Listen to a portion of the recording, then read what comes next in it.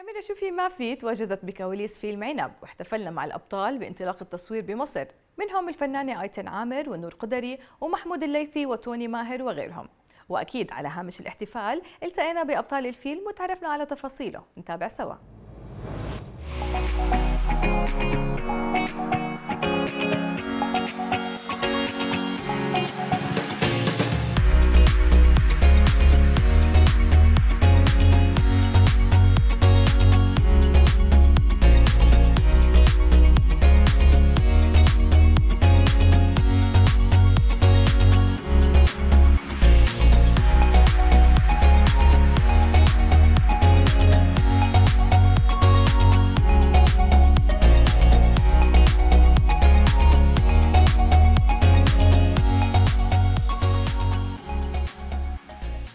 ليسي منورنا على شاشة عمان TV؟ حبيبي أهلا بيك واهلا بشاشة عمان TV. ببارك لك على عنب بقى. ليه عنب؟ ليه عنب؟ خش شوف الفيلم. أنت اخترت السيناريو ليه؟ يعني أكيد برضو مش بتختار أي حاجة. آه ليه عنب؟ آه ليه اخترت السيناريو مش ليه عنب يعني؟ آه عشان هقول لك عنب فيلم آه light comedy آه لذيذ. آه بطولة جماعية لطيفة. آه رحلة طويلة بيتحط فيها أربع بني آدمين وبن... وإحنا ماشيين معاهم طول الوقت عمالين بنكتشف حاجات. فالسيناريو مكتوب حلو قوي. ال... ال cast رهيب. آه، أستاذ أحمد نور له معزة خاصة عندي يعني ده من أقرب الناس آه، لقلبي يعني. ف why not؟ التركيبة بتاعت الأبطال كانت آه، لذيذة قوي. أصلا كلهم صحابي وبحبهم جدا مؤمنة جدا بموهبتهم. وإن شاء الله إن شاء الله يعني هم نجوم طبعا دلوقتي بس أنا متأكدة إن هم هيبقوا نجوم أكبر من كده كمان بكتير. آه، فكرة الفيلم لذيذة تركيبة كده بيتحطوا فيها مجموعة من الشباب. أنا طالعة بدور جودي آه، مخطوبة لحازم الاتنين من طبقة A class قوي وأغنياء وعندهم فلوس كتير وعايشين مرفهين جدا.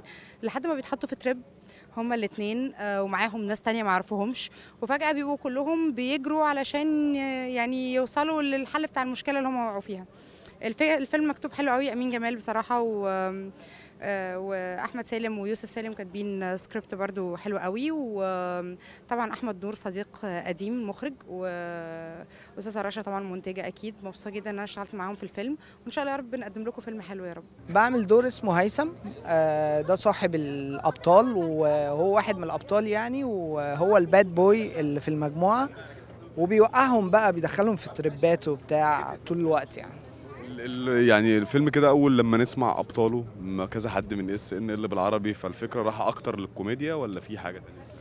لا آه، هو فيلم فيه دراما وفيه كوميديا وفيه في كل حاجة. طبعا بيميل أكتر للكوميديا يعني وبس. يعني إحنا كمان قبل SNL إحنا أصحاب من آه، كنا بندرس في مركز الإبداع الفني في دار الأوبرا.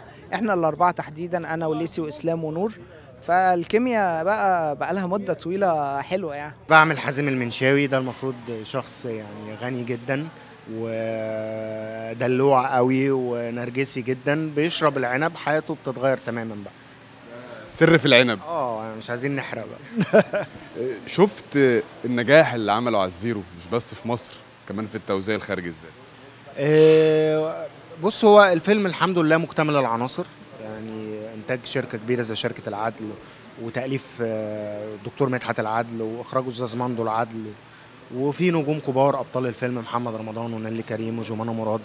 فأنت داخل على فيلم أصلا العناصر بتاعته قوية فالحمد لله النجاح كان يعني بديهي. عنب هو فيلم كوميدي آه وليه حبيت أبتدي بفيلم كوميدي؟